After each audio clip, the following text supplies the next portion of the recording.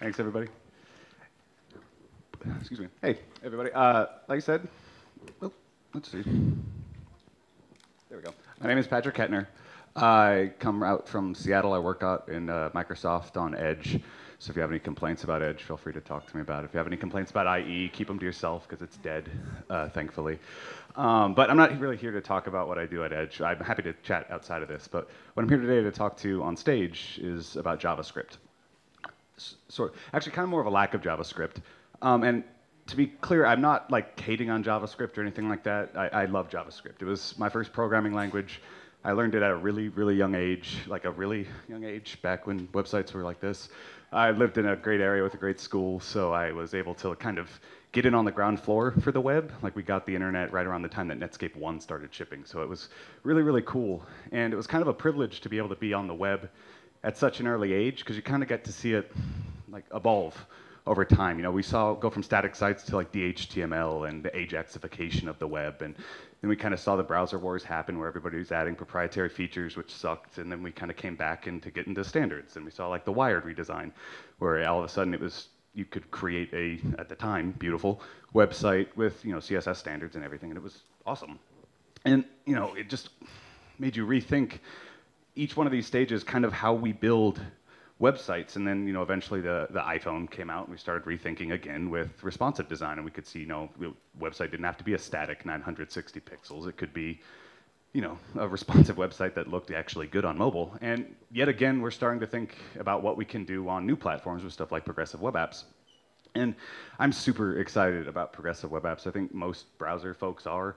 Um, in case you don't know, it's kind of like making um, we've been adding a bunch of different features to the web platform uh, at various browsers that give you kind of native-like experiences, and it really starts to feel like we can have native-feeling apps completely written, written with web technologies that work cross-device and cross-browser. It's, it's really exciting, and you know, when I've been researching and looking at all these different things, that's one of the things I do at Microsoft is a lot of interop work to find out whether or not code that works in Firefox works in the same in Chrome, works the same in Edge, et cetera, and then we try and fix it.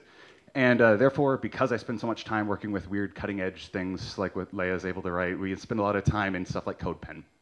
And I absolutely love CodePen. It completely changed my life back when it was launched, even though it wasn't really a super original concept when it was launched. Like, we've had scratch pads on the web for a really long time, right?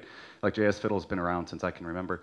But the one thing that really differentiated it, at least for me, was this thing up there. Uh, it's, it's SCSS, the fact that we could have preprocessors on the web. And that was really a big deal. I mean, Sass completely changed the way that I wrote web technology, and pretty much everybody I know that's a developer does as well. And it was really cool. I mean, it's been almost 10 years since Sass was originally released, and it completely revolutionized the way that we did stuff. You know, it introduced variables, CSS modules, all these different things. It was great. It's one of the reasons why it's so wonderful to have on CodePen. But the thing that really sucks about it is that Sass is powered by Ruby. See, as somebody who travels a lot and works on CodePen a lot, a lot of times I'll be working on a demo or trying to debug somebody else's demo, and they've happened to use uh, Sass or another preprocessor on their page. And as soon as that airplane starts hitting the sky, I don't have the ability to change anything anymore, and it really bugs me a lot. Like it, it's frustrating that I just because I uh, am no longer on the internet, I can no longer edit this code, even though it's really just eventually CSS. Because every single time you have to modify something, has to go to some Amazon cloud get processed by the Sass uh, code and then sent back down and injected into your frame, excuse me, into your iframe. And so after a particularly long and annoying trip where I wasn't able to fix anything, I decided I wanted to try and find a solution for this. And eventually, I found something. Um, it's a project called Opal. Opal's not something that I wrote. It's an existing project, but it's absolutely amazing. Uh, it's what's called a source-to-source -source compiler. And so what that means is that you can take a project like Opal and have, if you have uh, code that's written in Ruby, you can run Opal over it, and then it generates JavaScript. It's really, really cool. You can have a, programming uh, language like Ruby and completely bring it onto the web today. Um, and to understand, in case you're unfamiliar with source-to-source -source compilers, or if you've never taken like a computer science course, you might not quite understand how this sort of thing works. Um, it, so I just want to give a quick overview. We have uh, three different main processes that go into this. Uh, there's lexing, parsing, and code generation. So um, lexing is the first step that happens whenever you have to deal with an interpolated um, piece of code. So this is the same way that like stuff like Babel or other tools work. And the first step is lexing. It's called. It's also uh, called scanning in some circles, and that's kind of a clearer understanding of what it does. Basically, if you take your text file and you start doing something with it, like you give it to a, a, compiler or an interpreter or something, the very first thing it does is start scanning it character by character to try and understand what your code is doing. So it looks, in this case, we're scanning a really simple JavaScript file, and it's like, oh, hey, that's a variable. And then it goes next, and it's like, oh, that's an identifier, et cetera. And then it just kind of breaks up all of your different code into these different words so that the programming uh, environment can understand what it is you're trying to understand. And each one of those words are called tokens. And each one of those tokens kind of represent a concept that exists within the programming language. Now, the one thing that makes uh, Lexing a little bit odd, though, is that even though this is completely valid JavaScript, um, this also lexes just fine. The lexer doesn't give a shit about your validity of your code. All it does is make sure that what you have written is words. It's like you could put a dictionary in a blender. It would still be English or Greek or whatever other language you want to speak um, in, when you pour it out, but it's not necessarily makes sense. Uh, where you get actual meaning behind your words is the next step in parsing. Parsing is when we take all those individual tokens and then we assign value and meaning to it and the order in which it's presented.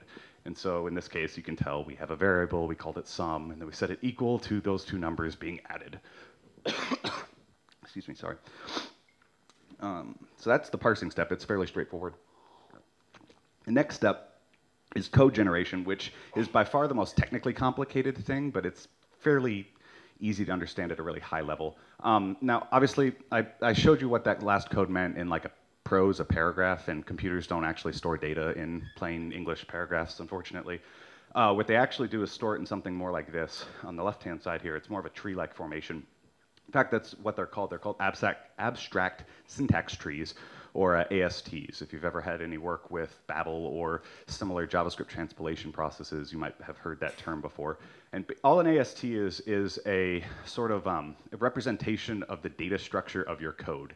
It's just a way for the computer to understand all the different paths and uh, tracks that your code can possibly go down.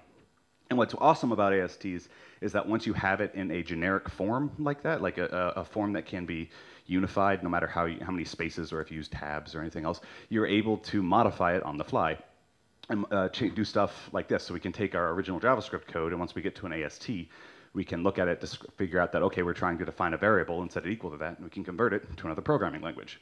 And so there you go, and our code is Ruby. And now I want to do something the opposite, now that I kind of understood what um, you know, uh, source-to-source compilers and transpilation, how it works, I wanted to make Sass work in the browser. So first step was to create a file. Uh, just called it Opal Sass. We do a few imports up at the top. This is a Ruby file, so I import uh, the Opal compiler itself to do the transpilation process. Um, Opal parser, so since Sass by itself is useless, you need to be able to give it CSS or SCSS in order to compile it. Um, in, into your eventual CSS, we have to allow for the compiled code to understand the CSS that we're giving it. So we have to include a separate parser as well. Then we include Sass, the library. Uh, this is just the original vanilla um, same Sass you would use in a Ruby environment. And then uh, finally, just a function, call it Sass Builder, where it takes in uh, the string of CSS, your file, or SCSS, sorry. And then an options object, so you can do stuff like change the syntax if you want to use Sass or SCSS, et cetera. And you pass that into the actual function that's used under the covers if you're ever uh, using the Sass compilation project proper, excuse me, property. So get that all done, fire up my terminal, and wait a few seconds. And hey, holy shit, it worked, and it didn't blow up. And I was really, really excited and feeling kind of proud of myself because that was a good, a well-spent afternoon. Uh, I created a real quick uh, HTML file just to open it and feeling excited. And I opened up my terminal and crap it's broken. And see, up until I don't know if I mentioned this. I, have never written Ruby before. I've written one Ruby file in my life a long time ago when I was working in QA. I have no idea what uh, un, sorry undefined method uh, for class Sass util multi-byte string scanner means. It certainly wasn't any code that I wrote, as you saw. And so that's what was really frustrating, and what led me to understand the first rule of transpiling code, and that's it never works. Well, the first time. Like eventually you can get it to work, but the very first time you do stuff, it's almost inevitably going to be broken. Even though most of these programming tools work really well and they do phenomenal things, when you deal with like all the different assumptions that have been made over the decade that Sass has existed and the five or so years that Opal has existed, there's going to be some kind of rough edges you need to sand in order to get those two to fit together. And so rather than to get discouraged, I decided to dig in and uh, look at the look at the error. I was like, okay, I don't really know what this means, but I'm pretty sure class is like a Ruby thing. Uh, I don't really even understand it in JavaScript still, and so I just decided to copy and paste that into my terminal, search the project for it, and luckily there was only one file that actually was doing that class definition. So I dig into that file, I open it up, and I start looking around, and I find that where it's being used in the file, and I start reading the comments because luckily most Ruby projects are ridiculously well com uh, commented and it says it is a wrapper of the native string scanner. And I was like, okay, so native sounds like it's a built-in thing, but again, I don't really know Ruby, so I consult the Ruby docs, and turns out, yeah, okay, so string scanner is a built-in thing, and Opal is supposed to compile built-in things, and so it didn't, and it is broken, and that brings me to tool number two, and that's that tools aren't perfect. Um, in this particular case, Ruby, or sorry, Sass was using a Ruby API that Opal didn't think was important enough to compile and that sucked because that completely broke my project. And so I decided to try and figure out how the hell they even do it in the first place. Is that a high, high level understanding of what you know Opal did and how it functioned, but I didn't really know how it actually, like the nitty gritty details worked. Uh, so I looked through the project. I found the string scanner definition since the thing that was broken seemed to be built on that, I thought. Uh, open up the file in Vim yet again, and then I start looking, and I have absolutely no idea how any of this works. I don't know Ruby, and I, uh, well, it turns out, okay, I started to see some patterns though, like, okay, beginning of line, scan, those are all things that I remembered from the docs had been defined as string scanner APIs. So it looks like every single time you want to use a method or an API on a class in Ruby, in Opal, all it is is a new function. So that was easy enough, I just defined it. And then I started looking at like what the hell to put in that function other than just that name. And it turns out that it's actually pretty straightforward. It's just a bunch of strings. Uh, even though the formatting's a little bit weird, each one of these um, features are, is pure JavaScript that they just wrote. They re-implement every single Ruby API just in JavaScript, and then they have a couple of special variable things like this that are kept in uh, Ruby state and are just put in. It's a lot like ES6 templates, if you've ever used that. You can do a lot of really, really powerful things. And turns out it was actually fairly straightforward. So I went back to the docs, I tried to figure out how the hell match size even works, and then I submitted a patch, and I got my first Ruby PR change thing into a project. I was super proud. And so now I have that lo patched locally. I was you know, stoked because I had figured it out. Recompile the project, open it up, and hell, yeah, there's no more errors. It all works, and it was great. And then I decided to actually see if it worked rather than just blow up, and of course it didn't. Um, there was immediately an error as soon as I tried to use the project, uh, which brings me to rule three. Whenever you're dealing with transpiling languages or anything like that, it, it, it's super tedious. Like it might seem like a really hard project to bring a Ruby programming language or even just a major Ruby library to the web. And honestly, it's not that hard. It just takes a lot of little tiny work. It's a lot of little sanding details. And it happens every single time. I've tried to transpile a number of projects now, several dozen uh, open source front end libraries all to the web. And it's never really simple most of the time, but eventually you can get it done. It just takes some time. Uh, luckily, I just had a son, and so I had a lot of free time while he was taking naps in order to try and get some little tiny changes in quickly. Um, but the key thing to keep in mind is just not get like uh, depressed at how uh, problematic this is. You just want to try and simplify everything as much as you can. You see, um, in this particular case, I can tell you that that error that was generated uh, ended up being a code issue within the Sass library itself. Well, so um, there are certain features within the Ruby programming language that really can't be truthfully polyfilled in JavaScript for a number of language reasons. But um, you can just kind of rewrite the project in a different way in order to get it to work, and it pretty much works the same. And so I, that's what I had to do. I had to change the Sass library itself in order to get it to work. And so if you're keeping track, I've had to change Sass, had to change Opal, and spoiler alert, eventually I'll have to change some gem files and dependencies. Ultimately, several hundred changes across dozens of files, across you know a few handful of locations. It's, it's a lot to mentally manage to understand all these things. And so rather than like edit those files directly and change them by hand, I started to use a, um, I pulled out the Opal tool that I was originally using and started using Opal Webpack. This is just a really thin wrapper around Opal. Um, and all it is really doing is exposing the transpiled files to the Webpack life, uh, lifecycle. Webpack's a really popular JavaScript packager if you've never used it, and it let me really just leverage my favorite Webpack loader, which is, excuse me, string replace loader. All this is really doing is a whole bunch of regexes, and I do mean a lot of regexes. There's, like I said, several hundred that eventually are done. Um, this GIF ended up blowing up PowerPoint, so I had to cut it short because it was I couldn't scroll as long. But um, it basically just allows me to I'm not really using regexes like you would think with all the crazy little symbols. It's just a whole bunch of strings. I'm doing a find and replace in the project. So whenever a certain string is found that ends up breaking the project, I replace it with a new string that kind of does the exact same thing, just in a different method that actually works within Opal. And so eventually, several hundred regexes later, it's done, and I have offlinesass.club. Uh, this is a really stupid website. It's, it's really dumb. It's a really ugly website. Um, all it is is two boxes. Um, let me see if I can pull it up real quick. Um, let me zoom out. And yeah, so all it is is you change. Um, this is just a implementation of Sass in the browser. We can make the font better here. Uh, cornflower blue is a better color. Hit compile, and then holy shit, it works. And that's completely local. That's completely offline. Um, you know, that's not hitting a server or anything. It's it's complete. I have the entirety of the Sass runtime running inside of a web worker offline. It works. It's the entire Ruby implementation. It's great. It, thank you very much. It's really impressive. Please. Um, finally. I can finally tell my partner that it was worth all that time. Um, so yeah, it, it, works, and I was like super pumped. I, I wrote like a, bag, a, braggy tweet to talk about it because it was like I said a really long time in order to really get it to work. And you know, I have a lot of really smart friends because I'm lucky enough to work on a browser, and immediately they sent me a whole bunch of bugs, and it's like shit. You know, it's like all these problems, that, and it's like an ugly website to boot, so I have like nothing to be proud of. Um, and it was really frustrating because I had spent all that time, and I felt I finally gotten to work in exactly the environment that I had been planning to, or trying to. And unfortunately, there was a whole bunch of things that Sass does that I didn't even know it did. Um, and that brings me to rule four, which is to test everything.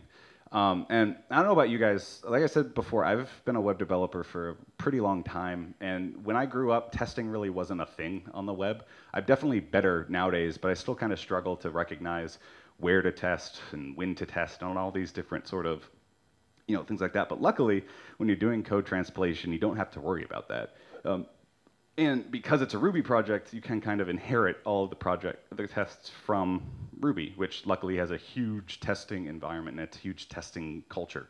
And so what happened was I ended up going over to Sass's test file, and they ended up having about 3,000 assertions within their code base that was um, every single combination of every single Sass feature doing all these different crazy things, like a really, really, really, really, really complex level and intricate level of testing. And um, I, you know, I was like, holy shit, this is great. I can finally test all the features. And then I realized that this is using a whole bunch of Ruby assertions, which unfortunately can't be tested in the browser. And there's no reason for me to test Sass outside of the browser if I'm trying to do it in JavaScript. And so I ended up having to transpile every single one of these assertions by hand, uh, rewriting the logic in JavaScript. And that ended up being the biggest time sink of the entire project. Like, like I said on rule three, it's, it's super, super tedious. But can tell you that eventually, that's why I'm here, I did get it done. Um, every single one of those dots represents anywhere from one to 300 assertions that happen inside of the project, and it's all generated uh, automatically. It, it, works really, really cool, um, and it, all these tests are being run inside of every single browser that supports web workers, with the exception of IE10 for reasons I don't want to talk about. And um, what's even cooler is because uh, I had sort of known that it would be tedious and tried to think about all the different ways that I could improve the process for myself from a, uh, from a tooling perspective. Not only could I do this in the one version, uh, the latest Sass version, but because I had wrote, written all those regexes rather than hand editing all those files, I can actually have this working in 80 versions, which is every single version of Sass. It, it was originally part of Haml, uh, different projects like Sass for HTML, but um, it was extracted out. And um, basically every single version that's ever been shipped as an independent module can now be automatically transpiled into JavaScript that can run in your browser. So no matter what the project is, no matter what version they are, they don't have an excuse to have to have a server. They can run it locally, and that's all completely generated automatically. It's a, it's, it's a lot. It's a long project. I mean, it was seven years of Sass. Every single version, like I said, that's ever been done is, is available. It's really cool. I was pretty proud of it. Um, and so now I just have this cool little command. I can run grunt generate Sass and wait because it has to go through every single version of Sass and every single test and do thousands of assertions and 20 different browser matrices. It's, it's it, it, takes a long time.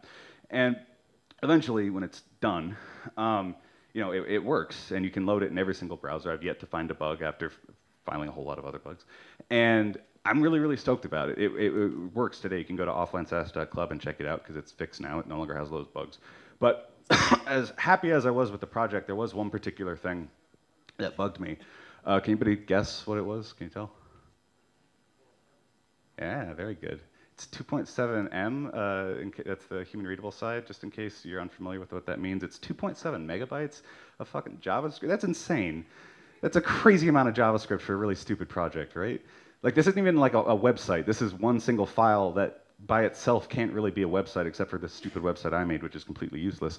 And admittedly, that is 2.7 of minified but not compressed. Ultimately, if used Brotli, which is like a, a, more aggressive gzip, you can do cooler stuff with it in the browser today. Uh, it's down to 250 kilobytes, but that's still an obscene level of JavaScript. There's no reason for a website to rely on that sort of a thing, and it's kind of a crappy as a web developer to have to ship that much stuff to the to the web in order just to have a feature. And unfortunately, though, there's not a whole lot that you or I, as uh, excuse me, as web developers, can do to make that better. When you're dealing with transpilation, like we're trying to bring an entire Ruby runtime and an entire huge, even by Ruby standards, library to the web, it's going to take a lot of bytes in order to get it to work.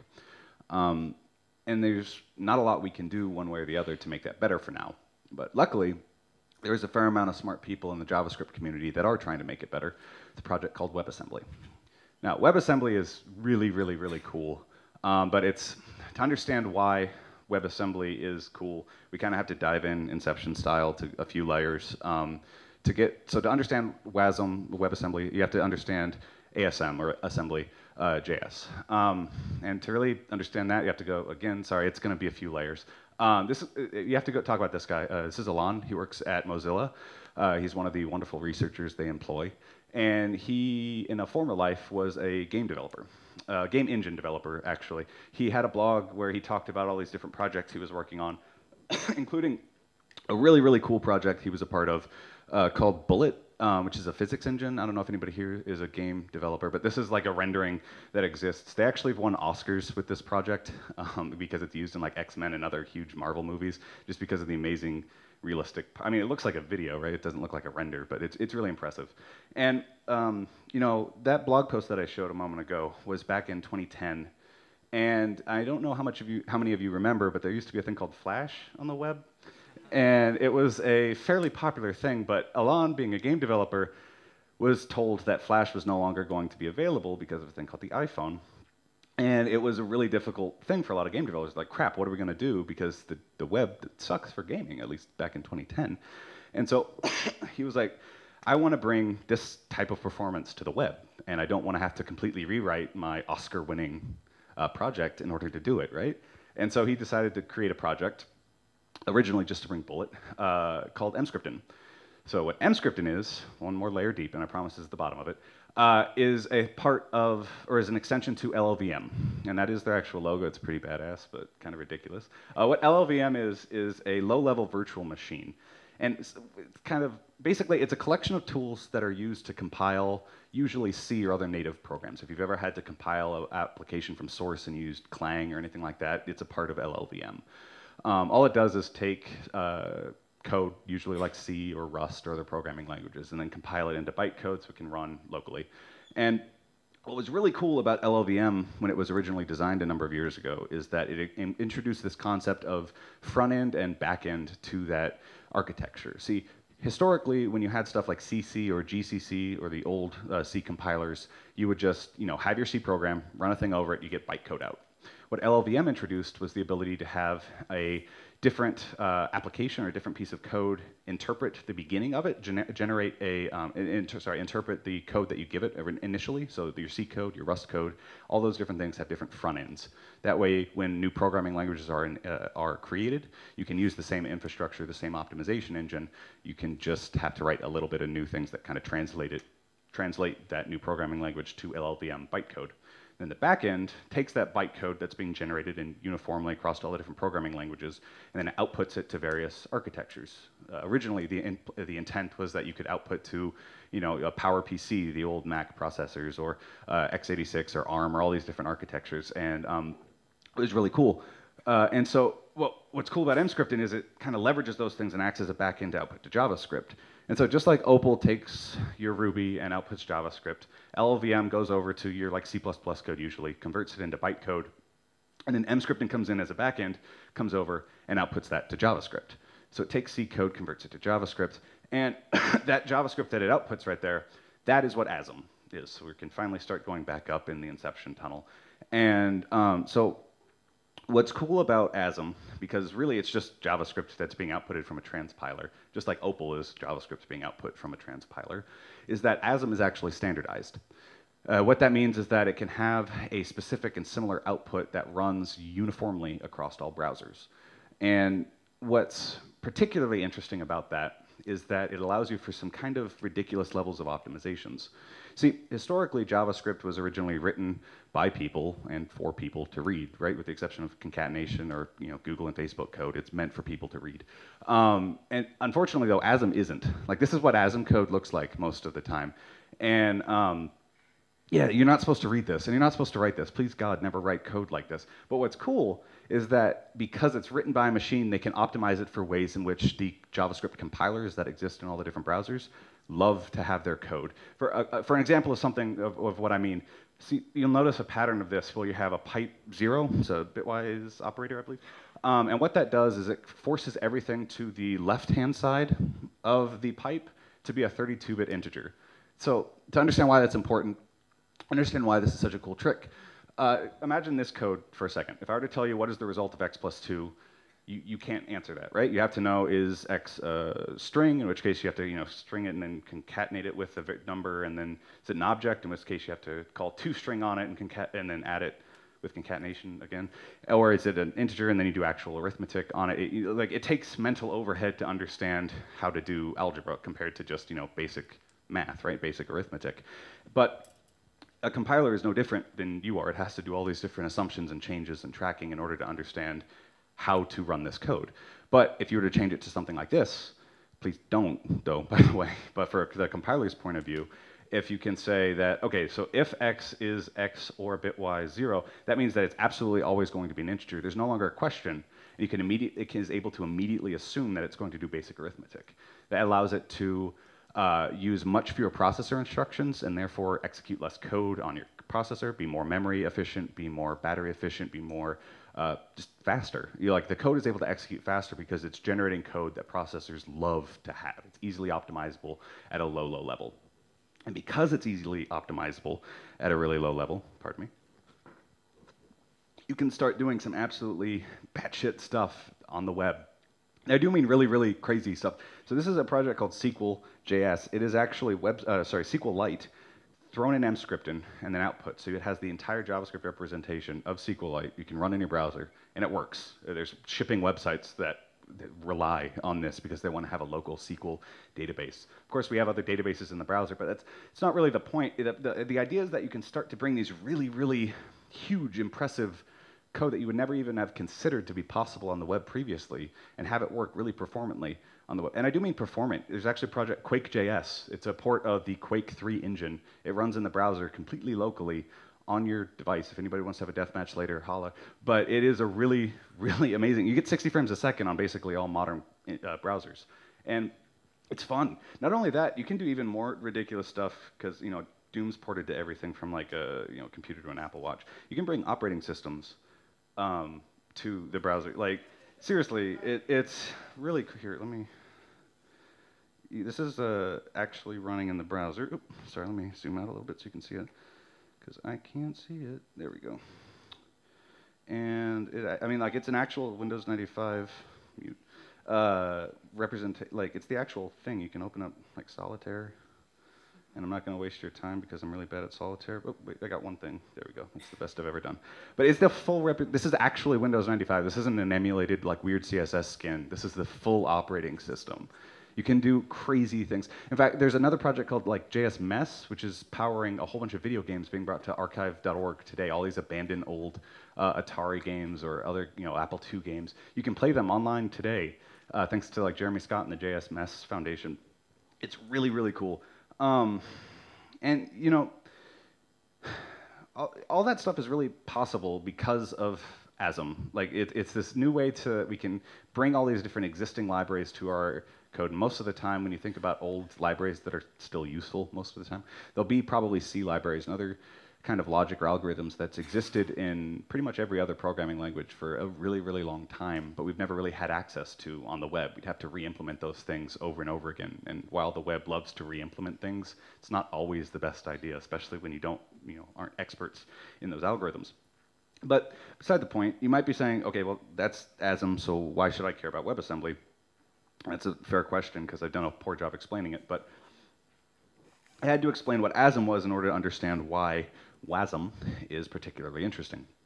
So again, like I said before, ASM is just JavaScript, right? It's even though it's ridiculously weird and compact JavaScript, it's still just JavaScript. It's a text file, it's .js, it gets sent down to the browser. And after, once it gets sent down to the browser, like every other interpreted language, it has to be lexed, it has to be parsed. The, uh, the compiler has to take that parse tree, that AST, and then generate the bytecode in order to run it inside of the browser during the code gen phase. And all that stuff takes time. For, for my Sass project that, uh, that I showed you before, on lower end devices, it can take up to like 15 to 20 seconds just to boot the JavaScript file. That's to read it locally from a like a cached file and then just scan through every single character. because it's 2.5 megabytes, it's a, it's a huge file, right? Or 2.7. And that's a, that's a, it takes a lot of time. It takes a lot of energy. And what's frustrating is that code being generated at the bottom because ASM is a standardized format is repetitive. Every single time you have to download an ASM file, it's generating identical bytecode. There's no state involved or anything like that. And so it's, they were starting to think at the TC39, one of the organizations that uh, kind of controls the way that JavaScript moves forward, started thinking, well, what if we just skip all that? You know, what, and so what WebAssembly is, is uh, rather than going through lexing, parsing, and code generation every single time, it is just the binary representation that would normally be output from the code generation stage. And so that means that you're able to ship a binary file that was originally JavaScript, or it was kind of a JavaScript-like file in the interim step, and then output in something that can basically be running. So if you have an ASM file and you have a WebAssembly file, by the time that the ASM file is still being lexed, your WebAssembly file is already executing. So it can have huge performance impl implications, especially for really large, you know, huge files, which you know might sound kind of like technically neat but kind of boring you might be wondering like how this will never affect me. I'm not going to waste my time building you know offlinesass.club or whatever. And that's that's fair. It's a stupid project, but it's still kind of fun, and I would encourage all of you to try it. But even if you never want to look into this or anything like that, that doesn't mean you're not going to be affected by this. I mean, take for example React. Um, React has nothing to do with WebAssembly, at least currently, but it's completely changed the way that most people write front-end code these days, right? I mean, like Angular 2's completely uh, changed to be closer, more closely aligned. Ember's Glimmer project, you know, kind of copied a lot of the logic, and a lot of that's really powered by that underlying concept of a virtual DOM, where you have uh, representation of your state in memory and then the actual DOM, and then whenever you change something in memory, it gets converted over and into your actual DOM, and it's applied. That, that, that core concept is something that's pretty much won in a lot of the MVC you know, games these days. And pretty much if you're writing any kind of complex JavaScript application, you're using a virtual DOM-like structure most of the time these days. Uh, so imagine there's a project called Virtual DOM, which is an abstract representation of that concept without all the React ceremony around it. Um, you could, there's no reason why this has to be written in JavaScript. This core is just a bunch of algorithms, and that can almost completely be implemented in any programming language. It doesn't have to have access directly to the DOM. That can be communicated elsewhere. And so you could have a project like Virtual DOM that's being implemented outside of JavaScript and then brought to the web using WebAssembly, which means that your applications, if using it, could boot faster. It could execute larger uh, comparison trees much faster. It could just generally be more efficient and better for your users. And even if you don't write this code, it is highly possible that the extremely competitive JavaScript library world will get there and get there soon. I mean, they're doing already really, really meaningful and impressive things on the web. Take, for example, another project, um, ogv.js. Uh, this is a project that actually brought the OGG Vorbis and WebM video codecs to non-supported browsers.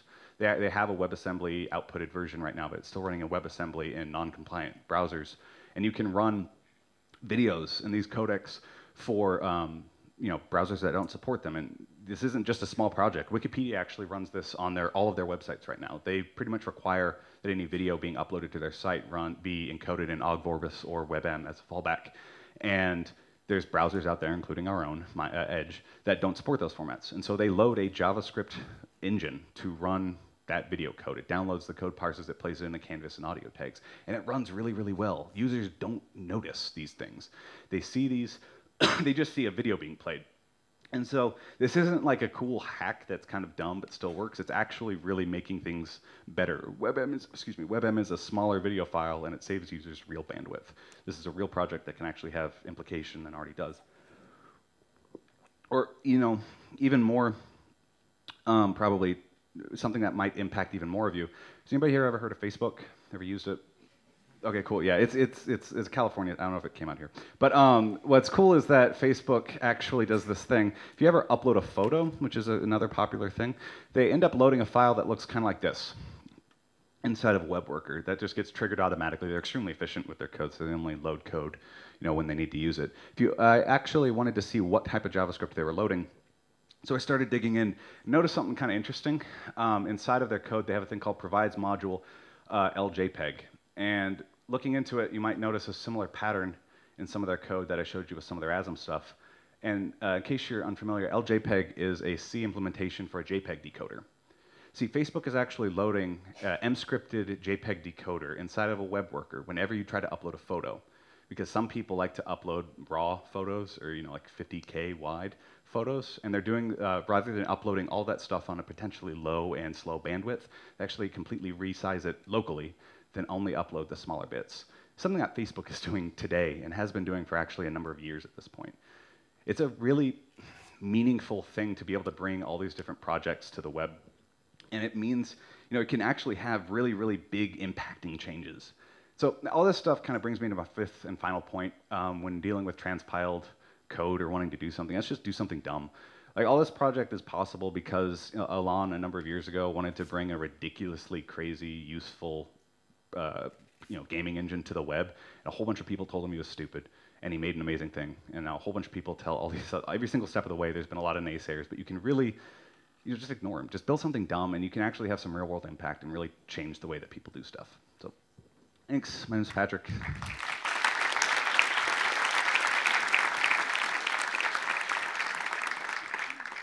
Anybody have any questions about anything? Yeah, please. Do you have a microphone down here? Possible. If you want to shout it while they bring you down, I can repeat it.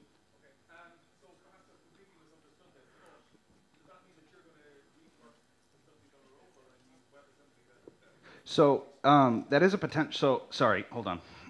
I've tripped like five times, so I just want to fix my shoe. The question was, um, am I going to be reworking this stuff with Opal and have it be uh, work in WebAssembly? That ultimately would definitely be a goal. Um, the problem is that Opal currently is not outputting assembly. It's uh, outputting JavaScript that folks like myself have wrote to map it. So in order for us to support it, we would have to um, get it to basically compile with an LLVM.